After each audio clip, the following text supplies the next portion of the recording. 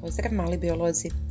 Lisice su iznimno inteligentni sisavci iz porodice pasa, a jedina lisica koja živi u središnjoj Europi je crvena lisica. No ona je samo jedna od mnogih vrsta lisica. Sjetite se na primjer simpatične pustinske lisice, odnosno feneka, koje svoje jazbine gradi u pustinskom pijesku.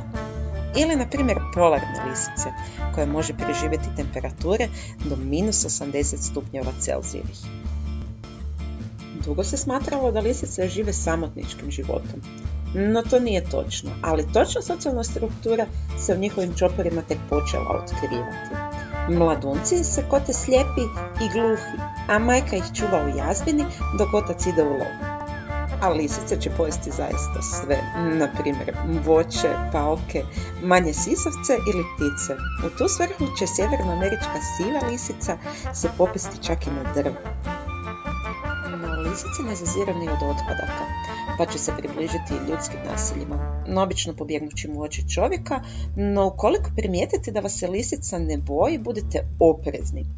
Takva lisica je vjerojatno bijesna. Ptice pjevaju, mačke mjauču, a psi laju. A budući da je lisica pas i ona laje. No mislite da nikada niste čuli? Poslušajte mi, možda promijenite mišljenje.